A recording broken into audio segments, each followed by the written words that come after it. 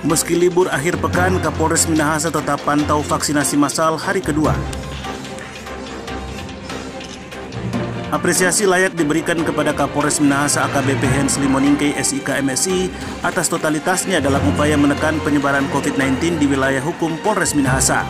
Betapa tidak, kendati Sabtu merupakan libur akhir pekan, namun Kapolres Moningke tetap memantau vaksinasi massal didampingi Kabak Ops, AKP Alfred Statuwo dan Kasubag Humas, Ibtu Robin Langi di Gedung Tan Satrisna, Mapolres Minahasa, Sabtu 12 Juni 2021.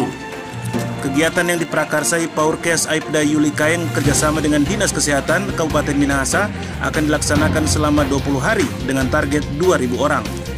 Kapolres Hens Limoningke mengatakan ketersediaan vaksin jenis Sinovac Bio Farma yang ada untuk masyarakat di wilayah hukum Polres Minahasa. Ditambahkan Kapolres Minahasa kegiatan ini sebagai tindak lanjut program percepatan vaksinasi nasional dan Polres Minahasa menargetkan pencapaian dalam 20 hari sebanyak 2.000 warga yang akan divaksin. Untuk hari pertama dan kedua ini 400 warga diharapkan sudah tervaksinasi. Kami dari Polres Minahasa melaksanakan program vaksinasi massal bagian daripada percepatan program vaksinasi nasional.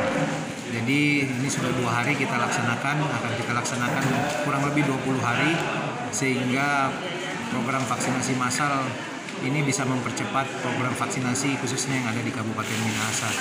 Pada hari kemarin kita berhasil memvaksin sebanyak 110 orang dan kita harapkan hari ini juga kurang lebih sama sehingga masyarakat dapat uh, terlayani dengan baik khususnya vaksinasi.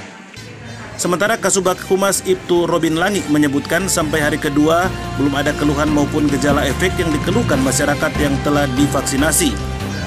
Kasubag menyatakan sejauh ini belum ada keluhan dan sama seperti hari pertama pelaksanaan vaksin hari kedua berlangsung aman dan baik dengan pengawalan personel Polres Minahasa dan Dinas Kesehatan Kabupaten Minahasa.